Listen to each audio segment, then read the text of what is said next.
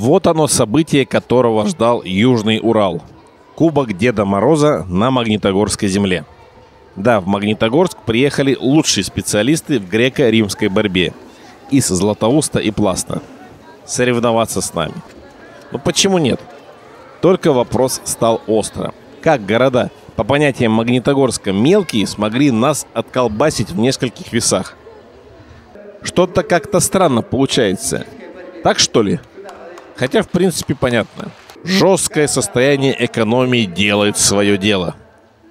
То есть это не экономия, это скулеж людей, не понимающих суть.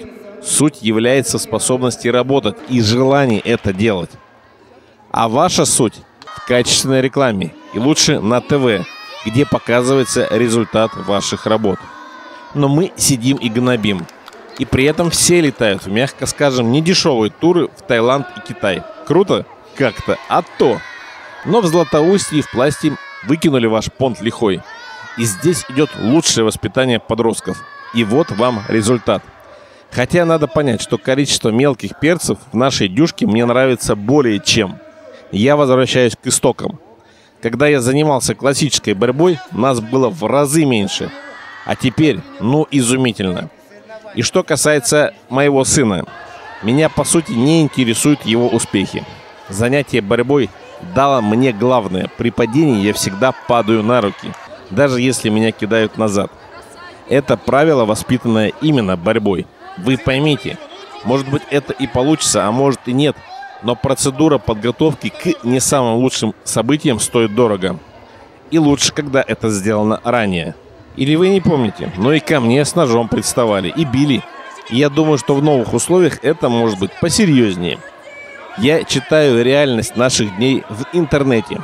Пусть он поймет и постоит за себя круче, чем я.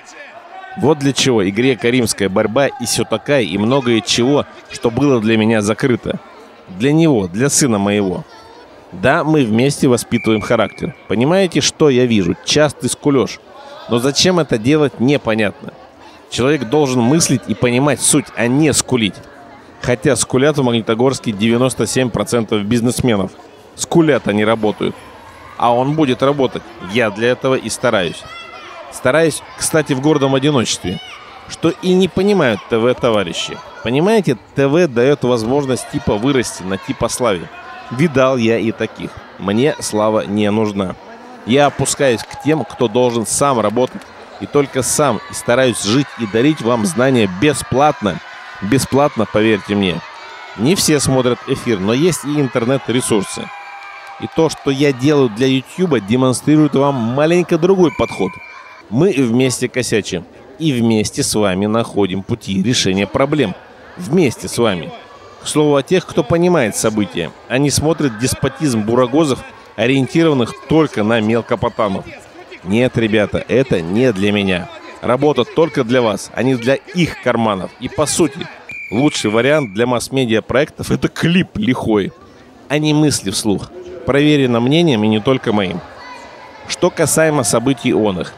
Мы пришли в борьбу в два с половиной года назад.